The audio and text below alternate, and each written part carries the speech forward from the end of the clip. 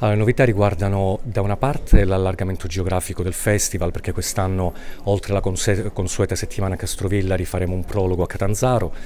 e quindi insomma una nuova scommessa con un nuovo territorio e siamo molto contenti di questo. Dall'altra parte un allargamento dal punto di vista anche dei linguaggi e dei contenuti perché iniziamo a programmare anche non solo del teatro ma anche della danza, delle arti performative, ci saranno degli artisti molto importanti che diciamo da Roma in giù è molto molto difficile vedere. Per cui insomma un'edizione che è una scommessa soprattutto, specie dopo il fermo dello scorso anno, quest'anno ritorniamo con tante tante aspettative e con un nuovo entusiasmo legato anche a questa scommessa per un nuovo territorio. Novità anche per quanto riguarda i temi, perché appunto specie la, insomma, la programmazione di Catanzaro molto radicale, nel senso che abbiamo voluto, io dico sempre, un po' entrare a gamba tesa dal punto di vista artistico in città,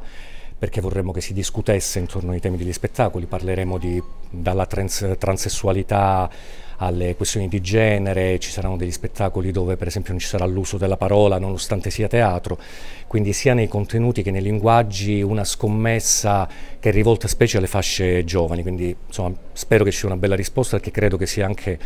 una buona occasione per Catanzaro, io dico spesso venite a vedere perché comunque potrete uscire dalla sala dicendo non è esattamente il mio genere, però ho visto qualcosa.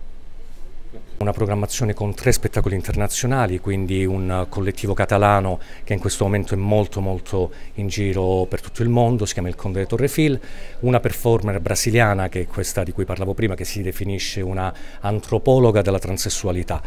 e poi una performer argentina che viene per la prima volta in Italia e che credo farà molta molta strada. E poi ci sono tre spettacoli di danza sulla nuova danza italiana. Castrovillari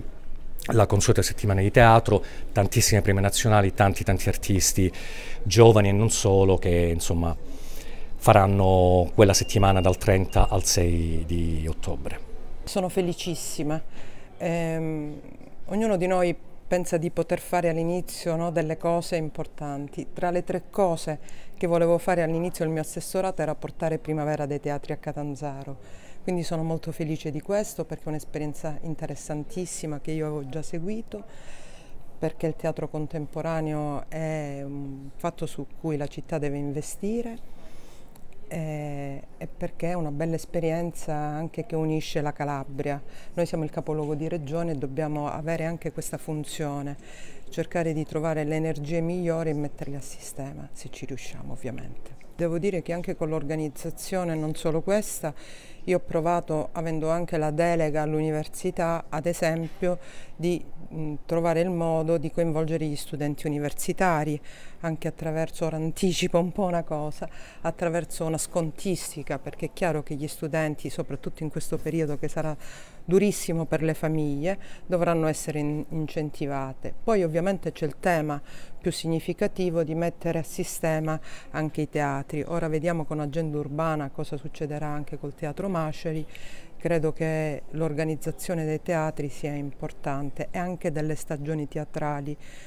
Come ho già detto in altre occasioni, per me è importante la progettazione ma anche la programmazione in questa città spesso ci sono o vuoti totali o sovrapposizione di eventi. Ecco, io spero insomma, di contribuire a mettere a sistema un po' anche l'offerta culturale e quindi anche teatrale della città. Beh, noi abbiamo avviato anche un nuovo percorso per eh, programmare ogni anno, auspicabilmente anche con le risorse finanziarie disponibili, un festival del teatro calabrese. Eh, lo faremo a settembre, ovviamente poi di questo ne parleremo in un'occasione specifica. C'è questa bella collaborazione con Primavera dei Teatri già qualche anno fa, c'era stata anche una uh, presentazione a Catanzaro al Teatro Politeama con Saverio La Ruina e Dario che sono dire, gli animatori assieme a Settimio Pisano che è il nostro conterraneo di, di questa rassegna teatrale che voi sapete ha un'importanza eh, a livello nazionale con tutta una serie di anteprime, di eh, teatro d'avanguardia, di teatro sperimentale, quindi Castrovillari è un elemento importante nella programmazione teatrale regionale. Aver creato questo gemellaggio, chiamiamola così, questa collaborazione, eh, fa in modo che anche una prima parte chiamiamolo il prologo della rassegna Primavera dei Teatri, si svolgerà a Catanzaro, si svolgerà a Catanzaro al Teatro Politeama, quindi ovviamente noi speriamo che da questi primi approcci, da queste prime collaborazioni poi possano nascere anche delle iniziative ancora più importanti. Beh, voi sapete che noi avevamo avviato dei laboratori teatrali al Politeama con un grande regista come Mauro Avocatro, poi il Covid ha interrotto questo avvio di laboratori teatrali, di stage, di seminari. Contiamo di ripetere l'esperienza, certamente con Scena Verticale questa collaborazione porterà ulteriori frutti. Questa della creazione di una scuola teatrale, ma io vado oltre, di una compagnia teatrale.